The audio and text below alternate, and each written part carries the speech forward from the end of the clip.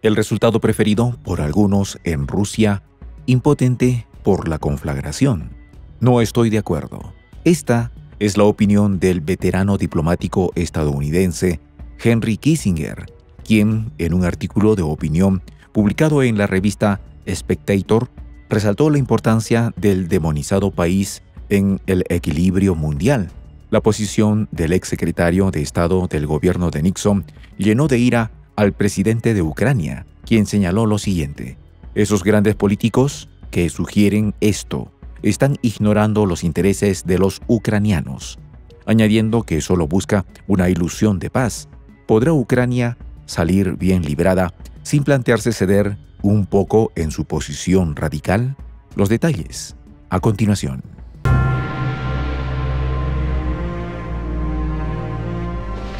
Voz de la Patria Grande. Sus opiniones suelen ser valoradas a nivel internacional por la amplia experiencia que ha venido acumulando a través de toda una vida dedicada a la diplomacia y si bien es cierto que se le reclaman terribles acciones que lo invalidan para retener su Premio Nobel de la Paz, sí logró llevar al hegemón a un punto medianamente equilibrado ante otras potencias. Henry Kissinger no puede ser tildado jamás de socialista ni de pro-ruso. Por el contrario, es un republicano que hizo carrera al lado de tétricos personajes como los expresidentes estadounidenses Richard Nixon y Gerald Ford, quienes se nutrieron de su conocimiento, dado que él no es elegible para la presidencia por su origen alemán. Quizás esto es lo que más enfurece al presidente de Ucrania, Volodymyr Zelensky, pues no puede descalificar automáticamente sus opiniones por su posición política, ni puede alegar un pasado ñangara por mucho que lo desee. Ya casi con 100 años y nada que perder, el diplomático suelta su opinión ante los medios cual artefacto explosivo frente a la mirada incrédula de los socios de Kiev que han aguantado penurias con tal de no desdecirse especialmente ahora que se va aclarando el panorama que deja al gobierno ucraniano muy mal parado frente a la opinión pública. A pesar de toda su propensión a la violencia, Rusia ha hecho contribuciones decisivas al equilibrio global y al equilibrio de poder durante más de medio milenio. Así lo expresa el diplomático conocido por ser el artífice de la política de distensión estadounidense que llevó a Washington a mantener relaciones diplomáticas con países como Vietnam, China y Rusia. Su papel histórico no debe ser degradado. Continuó el diplomático alertando lo siguiente, los reveses militares de Rusia no han eliminado su alcance nuclear global, lo que le permite amenazar con una escalada en Ucrania. Kissinger apunta al hecho de que Rusia le hace contrapeso a un imperio desbocado y que el mundo necesita de este equilibrio para funcionar relativamente bien, pues sería difícil imaginarse ¿Qué sería de la política internacional si la Casa Blanca fuese todopoderosa?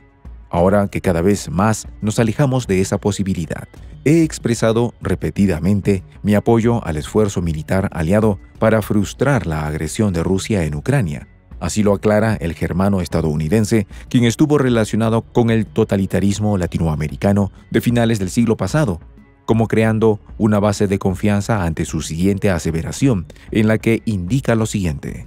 Se acerca el momento de construir sobre los cambios estratégicos que ya se han logrado e integrarlos en una nueva estructura para lograr la paz a través de la negociación. Esto lo escribió en la revista Spectator, creando polémica ante los que tienen las expectativas más radicales de la confrontación en Europa del Este.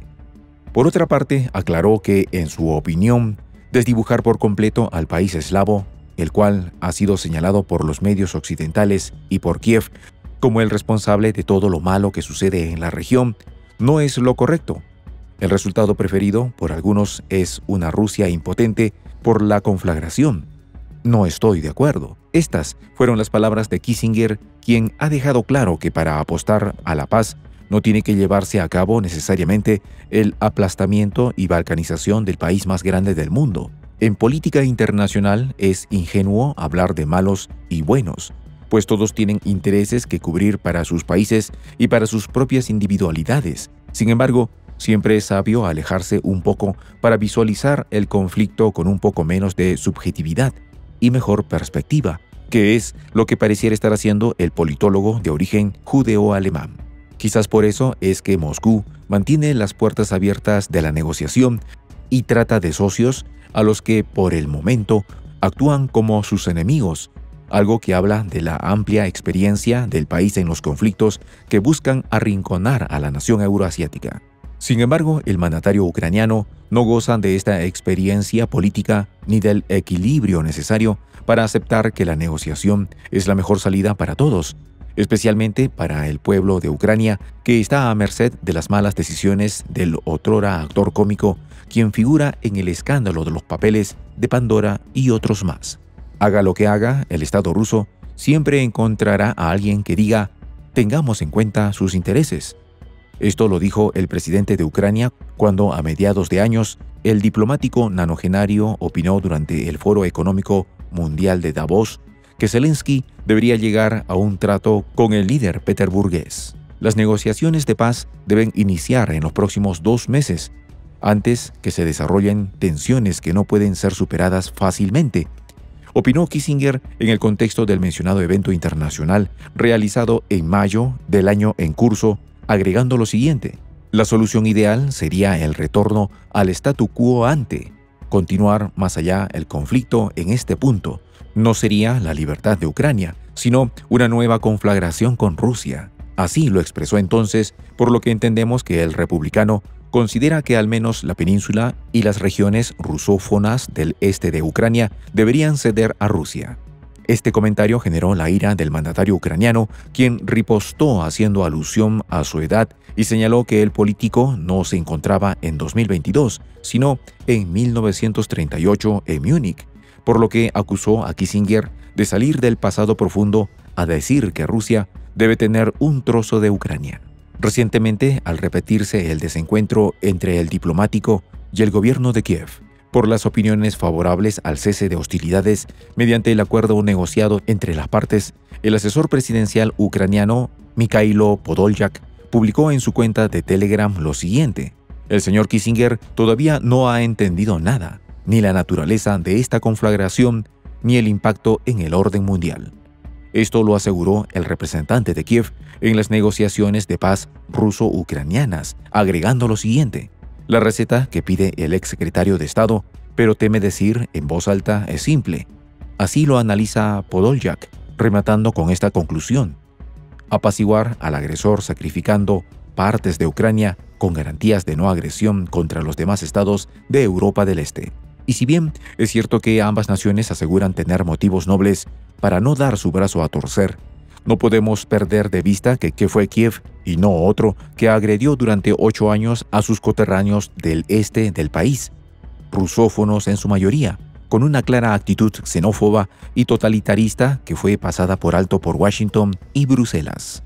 Mientras que el líder ruso ha abogado por las negociaciones, Zelensky y su gobierno dicen estar convencidos de que Moscú no se toma en serio la paz, además de hacer afirmaciones poco realistas como que no habrá paz hasta que salgan todos los soldados rusos del territorio ucraniano, incluida la península.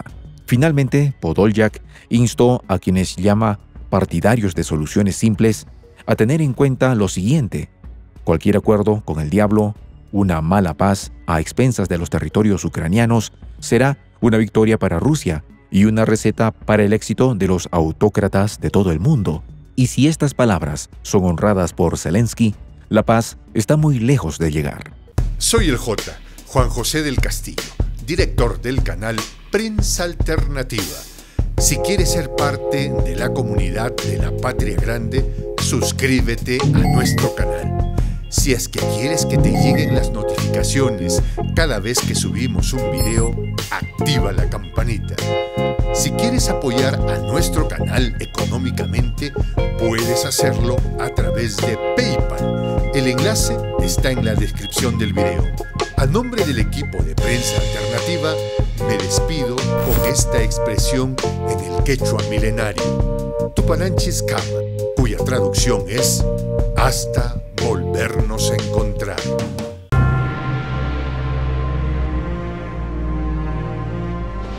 Voz de la Patria Grande.